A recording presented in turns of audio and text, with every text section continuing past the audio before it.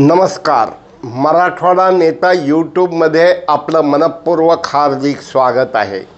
विधानसभा निवडणुकात दीपावळीनंतर होणार अशी चर्चा असताना आजच्या परिस्थितीत आम्ही मराठवाड्यातील प्रमुख तीन विधानसभा मतदारसंघाबद्दल बोलणार आहोत.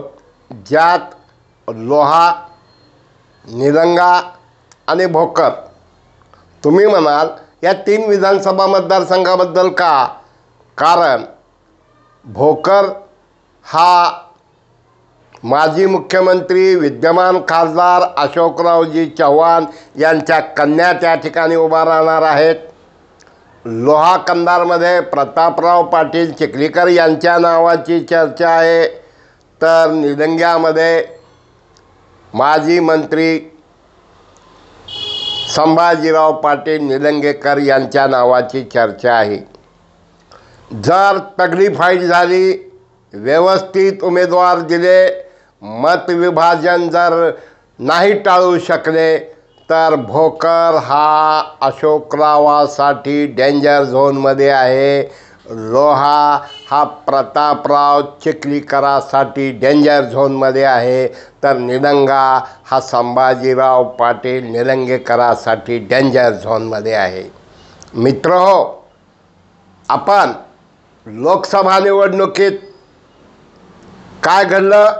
लोहामध्ये प्रमुख होते प्रतापराव चिखलीकर यांचे पुत्र आणि कन्या. त्या ठिकाणी संपूर्ण यंत्रणा तिकडं गेली. त्यावेळा जरांगे फॅक्टर होता संविधान फॅक्टर होता ओबी आणि नंतर अल्पसंख्याक फॅक्टर होता. त्यावेळा माजी सनदी अधिकारी आमदार शिंदे यांच्या ठिकाणी त्यांच्या मिसेस उभा राहणार असल्याचं खात्रीलायक उरत आहे. तर या ठिकाणी सध्या फास्टमध्ये लोहा कंधारमध्ये चंद्रसेन पाटील हे एकदम डंकेके चट उमेदवारी आहे. त्याने जे पहिला मेळावा प्रकाश आंबेडकरांचा ज्या सभा मेळावा रॅल्या झाल्या त्या अत्यंत अभूतपूर्व आणि द्रष्ट लागण्यासारख्या होत्या. चंद्रशेखर पाटील यांना असलेला अनुभव सोशल इंजिनिअरिंग फॅक्टर आणि जर ते जर गणित जमलं तर त्या ठिकाणी ते सुद्धा चमत्कार घडवू शकतात. मित्र नुकताच मुख्यमंत्र्याची लाडकी बहीण योजना ही सर्वत्र चर्चिली जात असताना त्याचा लाभ हा नक्कीच होणार. आणि सर्वात महत्त्वाचं म्हणजे पहिले दहा वर्ष संभाजीराव पाटील आमदार होते. वेगवेगळ्या कारणामुळं त्यांना पराभव पत्करावा लागला. पुन्हा दहा वर्ष आता ते आमदार होते. त्यातले अडीच तीन वर्ष त्यांनी मंत्रिपद राहिलं. पण देवाला द्यायला पदर नाही घ्यायला म्हणल्यासारखं. एक नॅरेटिव्ह त्यांच्याविषयी वारंवार वारंवार वारंवार पसरलं गेलं. आणि नुकताच तीन दिवसापूर्वी मी शिरवानपाळ तालुका आणि देवणी तालुक्याचा फेरफटका मारला असता त्या दोन्हीही तालुक्यामध्ये आज तरी हे भाजपला किंबहुना संभाजीराव पाटील निलंगेकर यांना नकारात्मक वातावरण आहे. दहा वर्षात तुम्ही काय केलं? तुम्हाला पायी यायची का वेळ यावी? तुम्हाला राम शिंदेला का आणावं लागतंय? तुम्हाला व्ही जी एन टीचा मेळावा घ्यायची का वेळ येते? असे अनेक प्रश्न विचारले जात असताना देवणीचा जो प्रकल्प होता तो परळीला मंजूर झाला. तुम्ही मूग गिळून गप्प का होतात? त्याचबरोबर जय जवान कारखान्यासंदर्भात तुम्ही काय भूमिका घेतली? हाही प्रश्न त्यांच्या संदर्भात विचारला जात असून संजय बनसोडे आणि अभिमन्यू पवार यांच्या दहा टक्के तरी कामं निरंगा विधानसभा मतदारसंघात झाले का अशा प्रकारचा प्रश्न आहे. संभाजीराव पाटील आणि अरविंद पाटील हे फार अभ्यासू आणि ज्याला काय म्हणतात की रूटचे कार्यकर्ते आहेत. त्यांना आईचं म्हणजे माजी खासदार रुपाताई पाटील निलंगेकर यांचं मार्गदर्शन आहे. आणि अशा एका परिस्थितीमध्ये निलंग्यामध्ये संभाजीराव पाटील निलंगेकर यांच्या नेतृत्वात किती माणसं हे समृद्ध झाले मोठे झाले? वाऱ्यानं आलं आणि वाटोळीनं गेलं. अजित मानेला सभापती केलं ते बिचारा सोडून गेला. जिल्हा परिषदचा अध्यक्ष ज्याला केलं त्याला सी सी टी व्ही कॅमेऱ्याच्या कैदेमध्येच त्याला काम करावं लागलं. आणि अशा एका परिस्थितीमध्ये देवणी महानगर आपली नगरपंचायतचा बसलेला फटका. अल्पसंख्याकांची मतं आणि देशमुख अमित देशमुख यांनी कॉन्सन्ट्रेशन केलेला विचार करता. जर निलंगेकर देशमुख सेटलमेंट नाही झाली काय? झाली तर संभाजीरावांना थोडं सेफ राहू शकतं सोशल इंजिनिअरिंगचा विषय आहे. आणि त्याचबरोबर शिरवानपाळ तालुक्यात संभाजीराव पाटील शिरवानपाळकर यांना पक्षामध्ये घेतलं. पण सन्मानाची वागणूक. कारण नेता हा मोठा तेव्हाच होतो. जेव्हा विश्वासू कार्यकर्त्याची फळी असते. नेत्यांनी जर कार्यकर्त्याला उडवा उडवी टोलवा टोलवी बनवा बनवी केली तर निवडणुकीत त्याचं फळ त्याला मिळत असतं. म्हणून निलंगामध्ये तसं संभाजीराव हे एक चाणाक्ष आहेत. काय? त्याने तसं देवेंद्र फडणवीस यांचे त्यांच्याकडं प्रचंड सकारात्मक दृष्टिकोन होता. पण विधानसभा निवडणुकीत अभिमन्यू पवार यांना केला गेलेला उघड विरोध त्यांना दिली गेलेली शिवीगाळ आणि पक्षांतर्गत ज्या पद्धतीनं तुम्ही जिल्हा परिषद आणला सामूहिक नेतृत्वानं आणला एकट्या कुणामुळं मग विनायकराव पाटील असतील भालेराव असतील रमेश कराड असतील अभिमन्यू पवार असतील ह्या टीमवर्कमधून जिल्हा परिषद आली.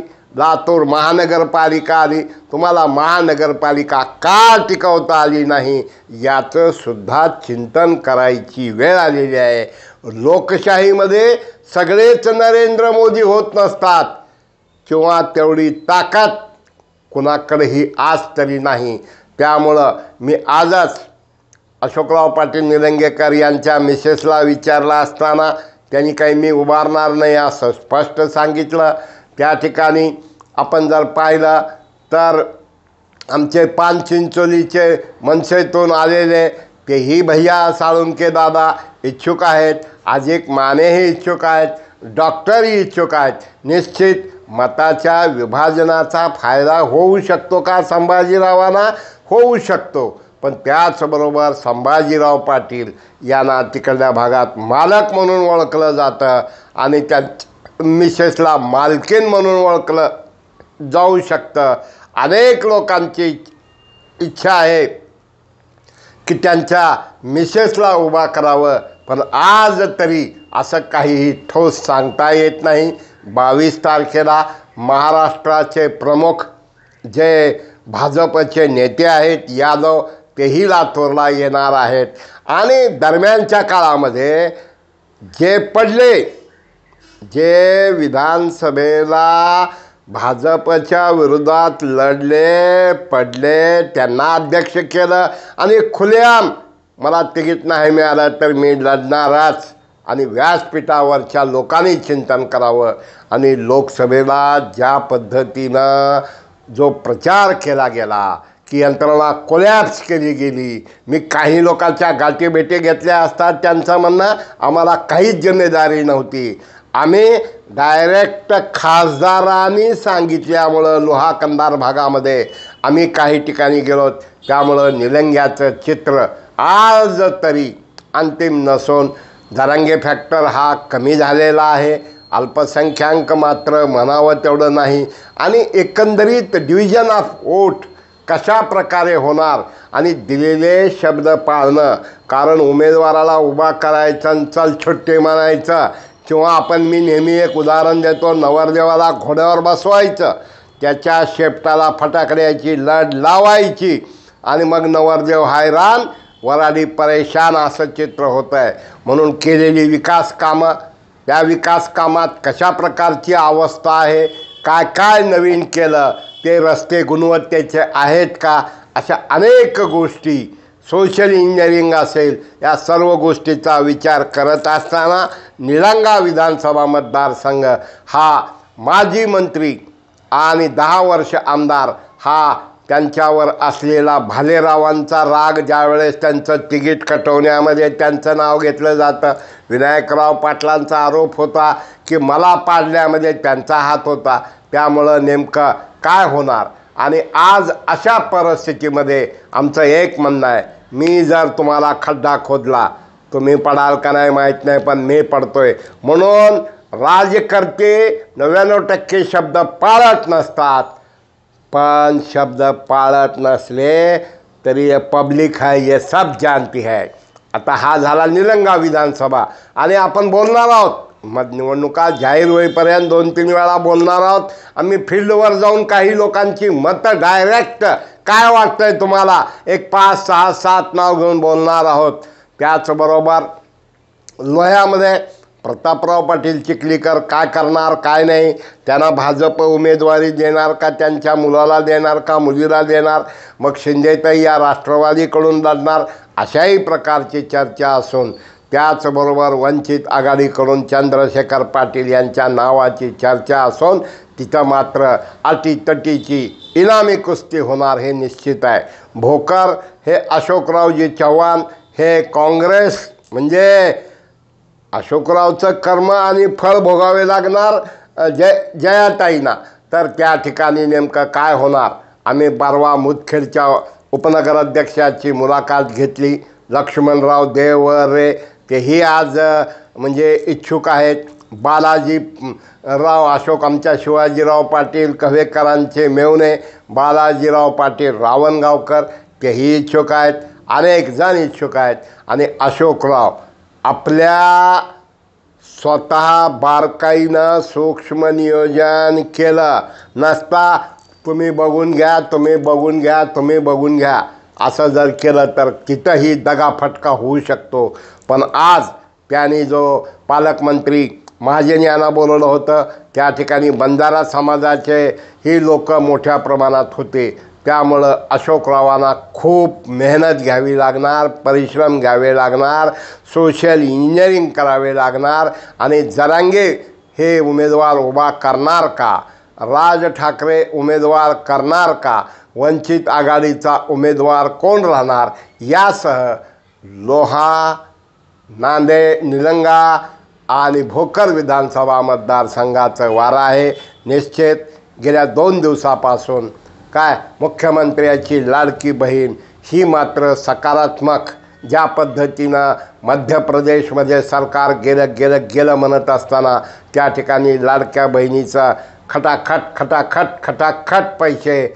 आणि यांनी जे म्हणले होते आम्ही तुमच्या अकाउंटला पैसे जमा करणार ते कर्नाटकामध्ये फेल ठरलेलं आहे. तर मराठवाडा नेता सबस्क्राईब करा शेअर करा लाईक करा कॉमेंट करा. धन्यवाद.